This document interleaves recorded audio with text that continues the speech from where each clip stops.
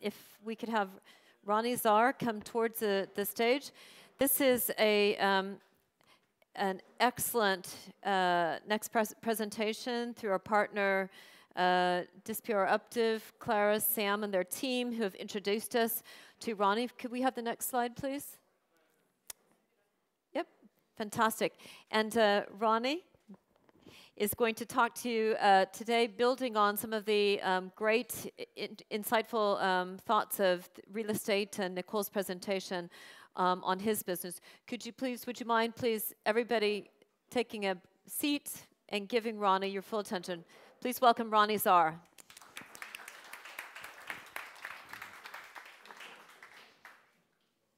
So it's been a long day. I'll keep it short, I uh, promise. Um, want to first start off by saying thank you, Julie and Disruptive. This has been great to meet with you guys. Some bright minds doing some wonderful things. Um, it's a it's a pleasure to be here. So I was kind of last second. I'm not. There's no bio on me, so I'm gonna give you a quick little rundown. Um, born in Lebanon, we were immigrants to the United States. Didn't have much. I grew up with a single mom. She worked her ass off to get us, you know, the bare necessities. And so as um, as Gianfranco was talking about earlier, he said that uh, to be successful, you find something broken and you, try to fix it, and that's success. Well, to be wealthy, I think you have to create wealth in other people, and you become uh, wealthy yourself. And so that's what we're trying to do here with this uh, tokenized real estate project in the UK. So I studied math, did a master's of financial engineering, um, I started a company, it was data analytics for real estate investments, and I, I read an article about blockchain technology um, revolutionizing real estate. I fell in love, I was jealous actually.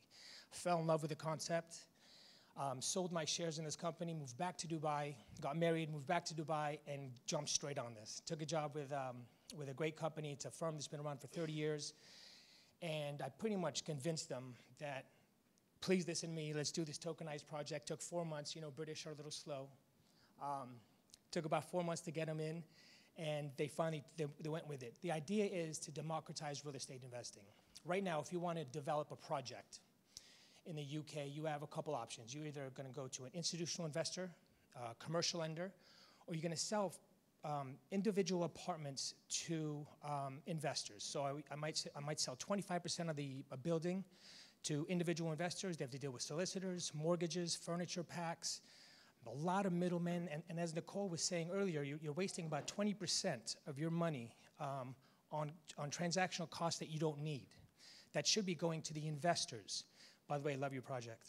Um, and, and so, besides all that, it's just much more efficient. So, imagine if a, a nurse, like my mom was a professor and a nurse, or a, a teacher, Right now, they can't invest in real estate. Unless they save for their whole life, it's very tough for them to get into real estate. Um, but imagine if you, like a Vanguard account, if you could take $100 from your, from your salary every month and put it into real estate every month and earn, you know, so we just talk about leveraging. In, in equities, you don't really leverage your investment. But in real estate, $100, if you make 3%, you're making 3% on $300. Um, so it's nine, 9% returns rather than 3% returns. So imagine a teacher or anybody, any, any blue collar worker can get into real estate, especially a project like, like this. So let me show you this project real quick. Um, make sure I know how to use this. That's not right. That's not right. I'm colorblind too. This one. There we go. Sorry about that. Okay, so it's a 100. It's a 180 unit residential development right off River Irwell, Manchester. It's a 43 million pound development, uh, GDV, and we're raising 20 million um, pounds through um, through an STO. Our technology partner is Tezos. Um, we're very close with Hubertus out of Zug, Switzerland. Um, and we're giving away 80.5% equity for that 20 million. The other 23 million will come from a commercial lender, which is, which is normal, but we'll be able to dictate terms. The way, the way um, commercial lenders work now is they'll say, hey, look, sell 25% of the building and then we'll kick in funding. Well, then they give you terms and they'll say, hey, well, look, 25 is not enough, do 30. Or, or they keep on putting different terms on you, and so you're almost, you know, you're a slave to the banks. A quick little story about the, the CEO or the founder of um, Alliance, um, Alliance Investments. His name is uh, David Russell. In 2008, RBS, on Christmas Day, called his loan in as well as a bunch of other uh, um, developers. He's taken RBS to court now for 10 years. If he wins this case, there's about 75 other smaller developers who, who are going to win. Um, commercial lenders do this. They, they want the upper hand on everything that they, they're doing. So the idea behind doing something like this is we're taking the power away from commercial lenders and putting it in, in our hands. Um, you know, whether it's institutional investors or professional investors or regular retail investors across the board. Um, so, so, this particular project, we're expecting 16, 18% returns. Um, it's, like I said, it's, it's, um, it's 180, 180 um, residential units, uh, one commercial space, and it's right off River Irwell. Should be done 2021. Um, and that's just a quick brief brief on, on the project. Um, it's, it's, again, it's right in the heart of Manchester. It's right on R River Irwell. I can go on and on in Manchester, but you guys are tired. Let me just get to the blockchain part. Um, so yes, obviously, uh, Manchester is a booming market. The way usually there's 18-year real estate cycle or business cycle. The first seven, eight years, London does amazing. The next seven, eight years, Manchester, Birmingham, those markets boom. And so Manchester's been doing really well and should continue doing well over the next five, six years. We expect about 20% growth in the next three, four years.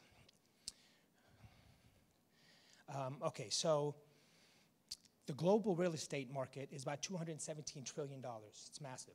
However, only 81 trillion is actually accessible to us. Well, imagine if we can liquidate or invest in the other 130, 140 million.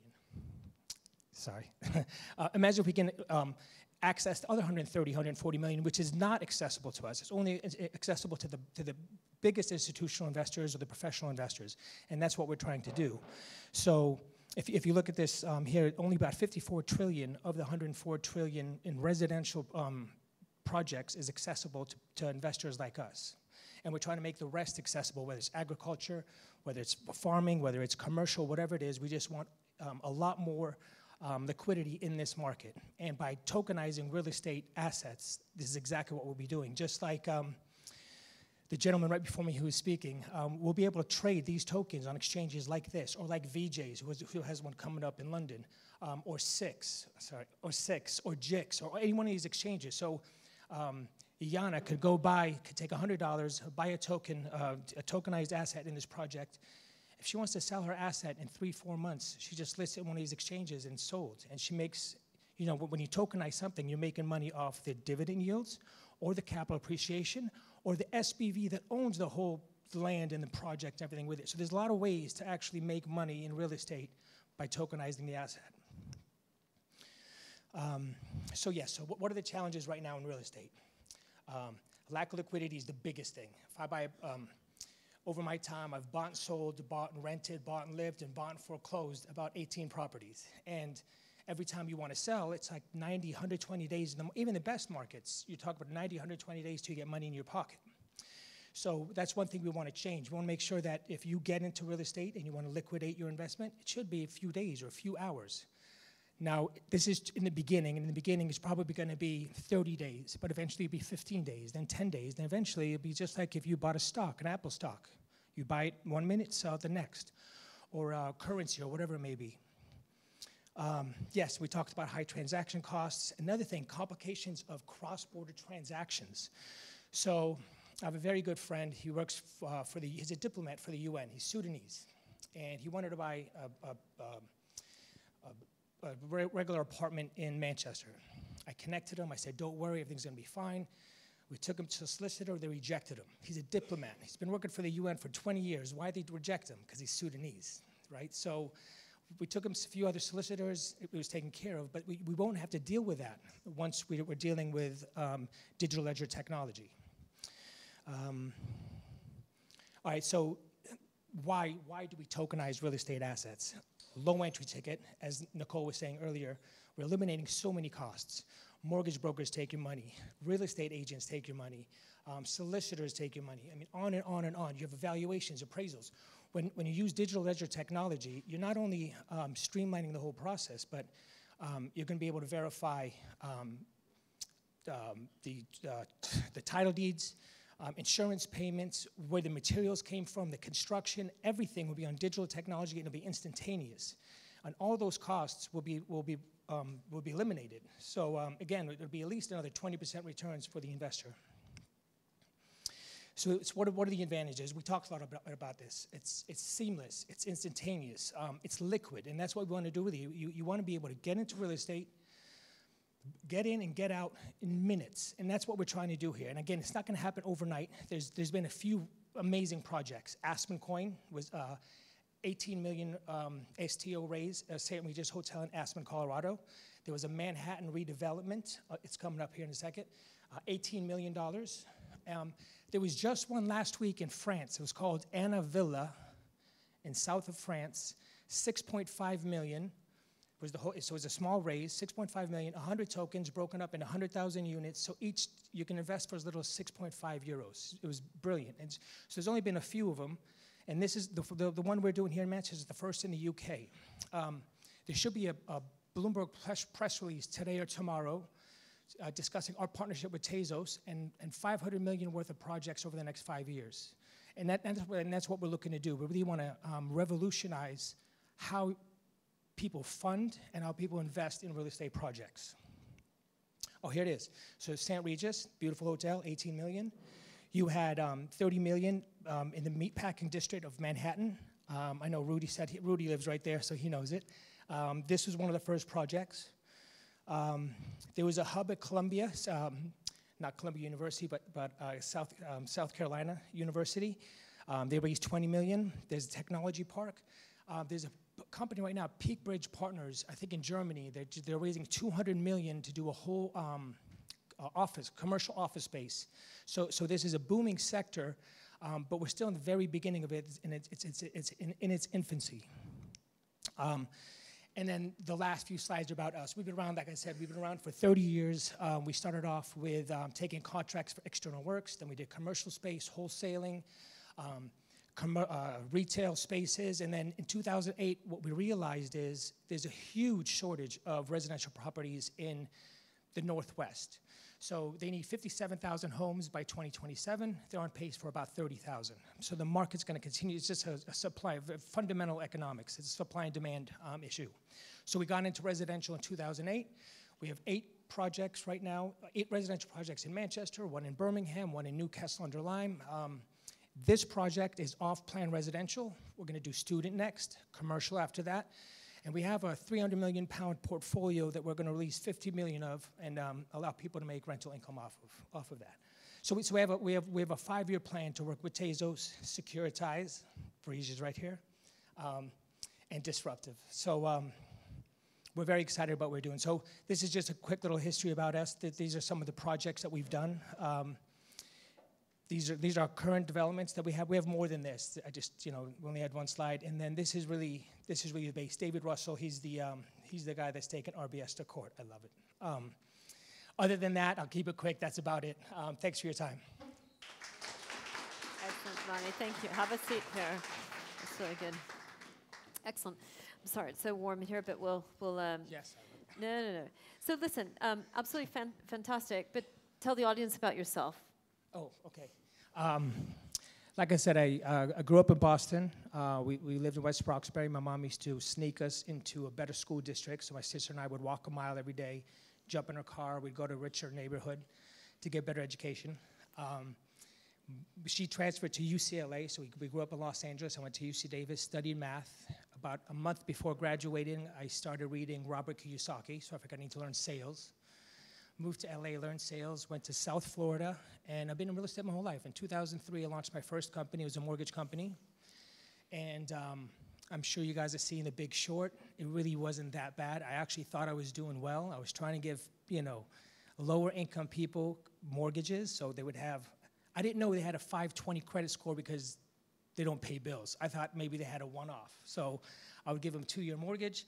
I would pay off all their debts. I'd coach them all the way. Two years later, they'd be in a worse situation, and, and it got compounded and whatever. So I, I did buy a lot of real estate at that time, but I, I was always into this idea that I want to help people make money in real estate. I thought that's it's a very easy way, not easy, but it's, it's a very efficient way to become a millionaire. Um, and I started off in the mortgage industry. Went bankrupt in 2008. I had a, many, many properties, over leveraged, went bankrupt, went back to uh, Silicon Valley, launched, uh, launched a tech company, um, was, was a little out of it, went to Lebanon, got my master's in um, you know, MBA, focused on financial engineering. Uh, did my thesis on the idea that um, these big banks, when they do when they do these futures, they push prices up. At the time, oil prices were 114. My professor didn't want to touch it because it was against the grain, but it was true. These these larger banks, Goldman Sachs, they when they roll these futures, they push prices up. So um, I've always been fascinated by how money moves in the markets. And then, um, and like I said, I started a company. It was data analytics for real estate investors. It was called Monopoly Kings. And I read this article about the blockchain, and I've been doing this ever since. Okay, excellent. Now, uh, any questions uh, for Rani in the audience?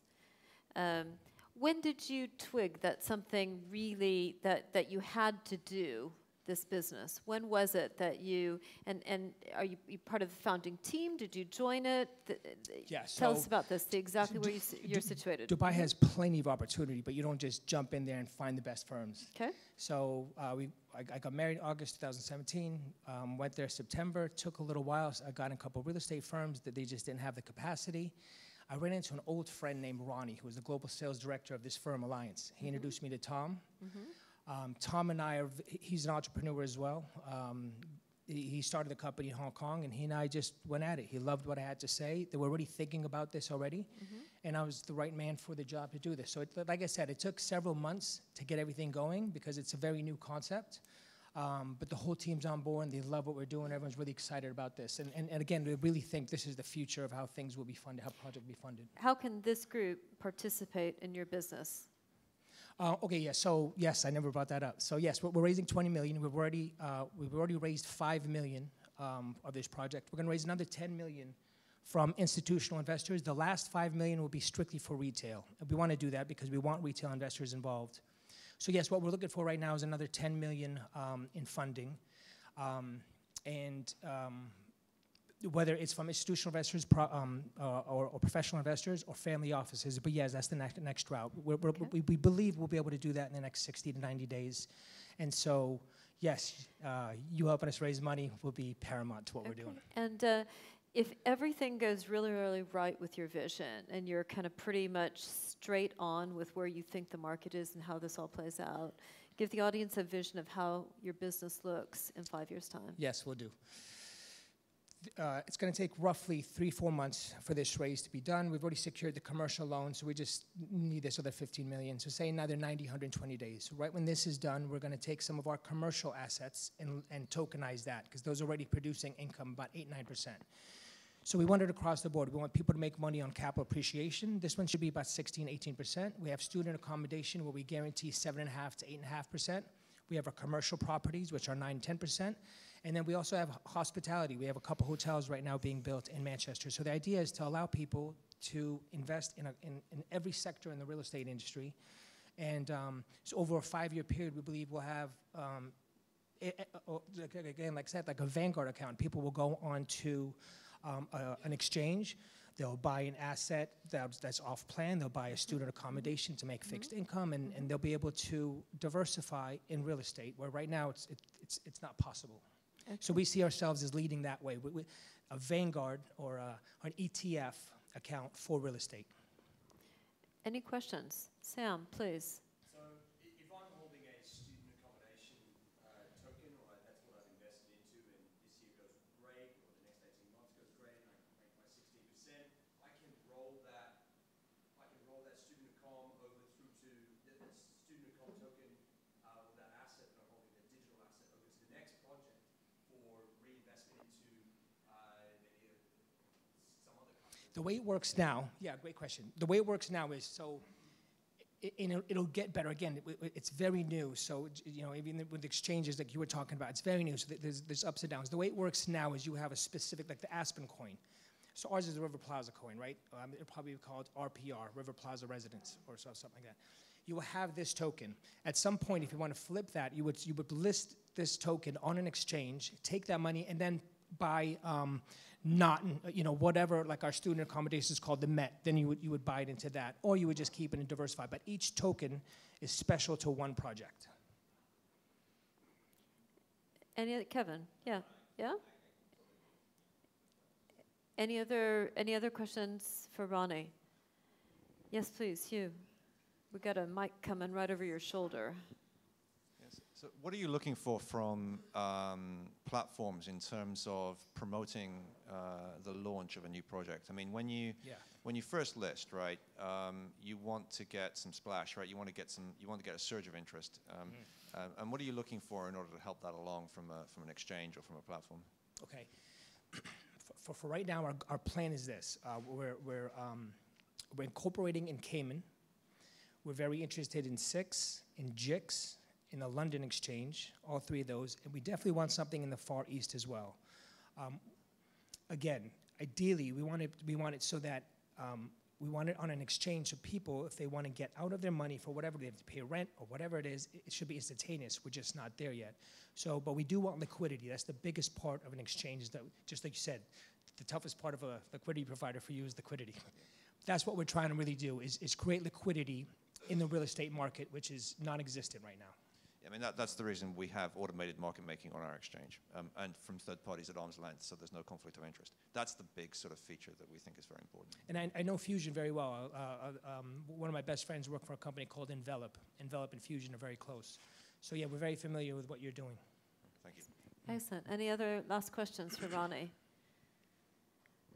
Rani, thank you very much for being Thank with very us. Excellent presentation, super interesting vision. Thank, Thank you you. very. Thanks very much. Outstanding. Very good.